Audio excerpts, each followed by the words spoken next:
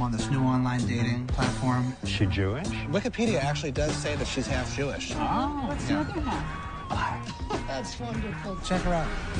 full breasted, that's for sure. Yeah. All right, Don. Why don't you relax? You got Carol over there.